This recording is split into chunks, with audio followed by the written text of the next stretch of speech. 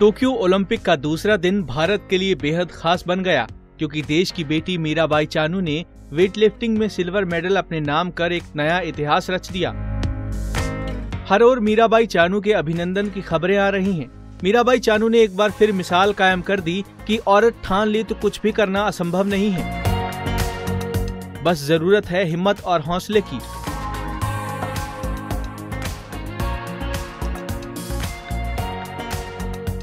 Weightlifting में silver medal जीतने वाली मीराबाई वेटलिफ्टर में देश का प्रतिनिधित्व करने वाली एकमात्र खिलाड़ी हैं। उन्होंने उनचास किलोग्राम महिला वर्ग के वेटलिफ्टिंग स्पर्धा में मेडल जीता मीराबाई ने स्नैच में सतासी किलो, जबकि क्लीन एंड जर्क में 115 किलो का भार उठाया और कुल 202 किलोग्राम का भार उठाया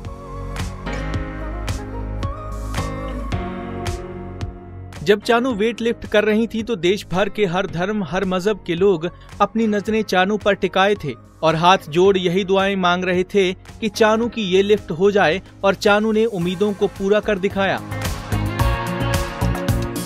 इस तरह वह टोक्यो ओलंपिक 2020 का सिल्वर मेडल जीतने वाली पहली, जबकि ओलंपिक के इतिहास में वेटलिफ्टिंग में मेडल जीतने वाली दूसरी भारतीय बन गई।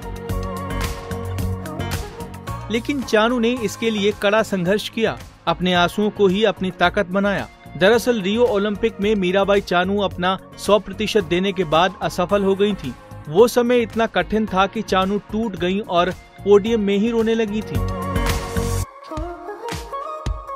मीराबाई अकेले नहीं, उनके साथ रोया था पूरा मणिपुर और पूरा भारत। लेकिन चानू ने अपनी हिम्मत और हौसला और बुलंद किया।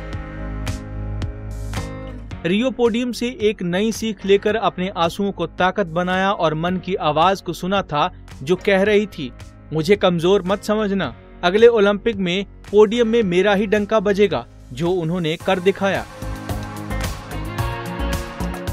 इसी बीच मीराबाई ने ट्वीट कर सबका शुक्रिया किया। मीराबाई ने कहा कि इस जीत से बेहद खुश हैं। वह बीते पाँच सालों से ये सपना देख रही थीं, जो आखिरकार सच हुआ। उन्होंने कहा, मैं इस पर गर्व महसूस कर रही हूँ। इसी के साथ उन्होंने लिखा कि वो अपना मेडल देश को डेडिकेट करना चाहती हैं। उन्होंने अपनी माँ और अपने कोच का भी धन्यवाद किया टोक्यो ओलंपिक में सिल्वर जीतने वाली मीराबाई साइखोम चानू है कौन चलिए इसी बारे में बताते हैं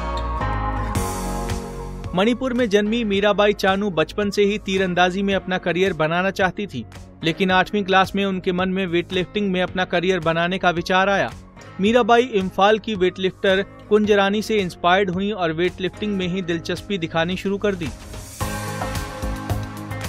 फिर साल 2014 में ग्लासगो कॉमनवेल्थ गेम्स में भी भारत के लिए सिल्वर मेडल जीता। चानू का 2016 रियो ओलंपिक निराशाजनक रहा था हालाँकि 2016 के रियो ओलंपिक गेम्स के क्वालिफाई मैच में मीराबाई चानू ने अपनी आदर्श वेटलिफ्टर कुंजरानी को हराकर रियो ओलंपिक गेम्स में अपनी जगह बनाई थी। साल 2017 में हुई वर्ल्ड वेटलिफ्टिंग चैंपियनशिप में मीराबाई ने 48 किलोग्राम वर्ग में गोल्ड मेडल हासिल कर देश का नाम रोशन किया और 2018 में हुए कॉमनवेल्थ गेम्स में भी गोल्ड मेडल अपने नाम किया। मीराबाई के बाद अब भारत की उम्मीद मैरी कॉम से है। दरअसल ओपनिंग सेरेमनी के मार्च पास्ट में मनप्रीत सिंह के साथ मैरी कॉम भी ध्वजवाहक रहीं, जिन्होंने अपना देश का तिरंगा लहरा भारतीय खिलाड़ियों का मनोबल बढ़ाया। बता दें कि दुनिया की दिग्गज महिला मुक्केबाजों में शुमार भारत की मैरी कॉम दूसरी बार ओलंपिक में भाग ले रही हैं। मोहम्मद अली के आदर्शों पर चलने वाली मैरी कॉम का सपना भारत के लिए टोक्यो ओलंपिक में गोल्ड मेडल अपने नाम करना है। 25 जुलाई को डोमेनिका की मिगु एलिना हर्नांडेज से मैरी कॉम का सामना होगा बता दें कि ओलंपिक में भारत के नौ मुक्केबाजों ने क्वालिफाई किया है, जिसमें पूजा रानी पिछहत्तर किलोग्राम भार वर्ग, मैरी कॉम इक्यावन किलोग्राम भार वर्ग, लवलीना बोरगेहम उनहत्तर किलोग्राम भार वर्ग, सिमरनजीत कौर 60 किलोग्राम भार वर्ग, महिला वर्ग में भारत का प्रतिनिधित्व करेंगी महिला कुश्ती करने उतरेंगी विनेश फोगाट, जो भारत को कई मेडल दिला चुकी हैं। इसके अलावा कुश्ती में अंशु मलिक फ्रीस्टाइल पहलवान सोनम मलिक, सीमा बिस्ला भी अपना जौहर दिखाएँगी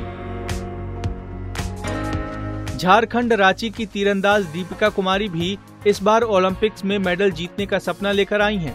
दीपिका के पिता ऑटो रिक्शा चालक और माँ नर्स हैं घर की हालत ठीक न होते हुए भी उन्होंने धनुष में महारत हासिल की और देश के लिए कई मेडल लेकर आईं। वर्ल्ड चैंपियनशिप में पाँच मेडल जीतने वाली badminton player PV Sindhu Bharat की पहली और विश्व की दूसरी महिला हैं। उनसे गोल्ड की पूरी उम्मीद है। भारत ने कुछ दिन पहले 16 सदस्यीय भारतीय महिला हॉकी टीम की घोषणा की, जिसमें आठ खिलाड़ी ओलंपिक पदार्पण करेंगी। इसके अलावा शूटिंग में यशस्विनी मनु भारकर गोल्ड के लिए मुकाबला करेंगी। भारतीय महिला हॉकी टीम के कप्तान स्टार स्ट्राइकर रानी रामपाल के हाथों होगी। सानिया और उनकी डबल्स जोड़ीदार अंकिता रैना टेनिस के लिए भारत का प्रतिनिधित्व करेंगी। बता दें कि सानिया मिर्ज़ा चौथी, जबकि अंकिता पहली बार ओलंपिक में डेब्यू करेंगी। सानिया ओलंपिक्स में चार बार हिस्सा लेने वाली पहली भारतीय खिलाड़ी होंगी। तो ये हैं भारत की वो होनहार बाहुबली बेटियाँ, जिन पर पूरे भारत की निगाहें टिकी हैं। हमें इन बेटियों पर गर्व है। नारी की ओर से नारी शक्ति को हमारा सलाम।